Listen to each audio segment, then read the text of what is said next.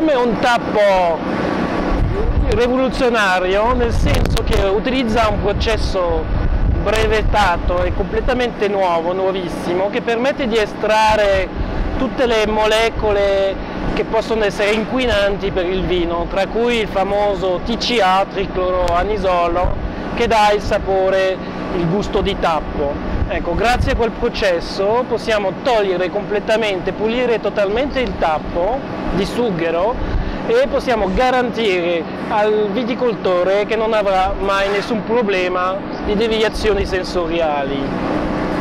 Stiamo parlando di una mescola di fatto, di un prodotto che recupera il sughero ridotto a granella.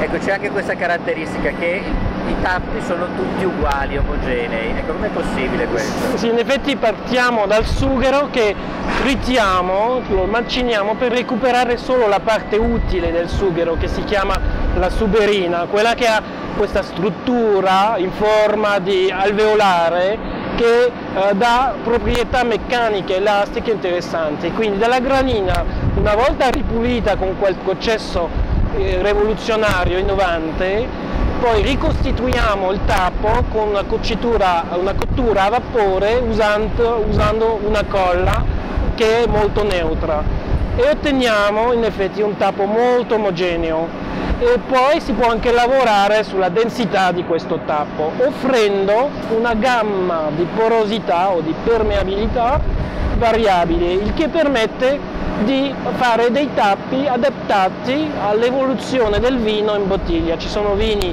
che hanno bisogno di tappi un po' più chiusi e altri vini che necessitano un po' più di respirazione una volta messi in bottiglia e tenuti in bottiglia, in questo caso il tappo deve essere leggermente più aperto. E qual è la, la risposta del mercato? Quali sono i paesi dove riuscite a trovare più rispondenza delle cantine? La risposta del mercato è stata molto molto positiva, soprattutto innanzitutto dal fatto che potevamo garantizzare quella idoneità e la neutralità totale del tappo rispetto ai rischi di sapore e di deviazioni sensoriali, quindi ci ha permesso una crescita molto forte.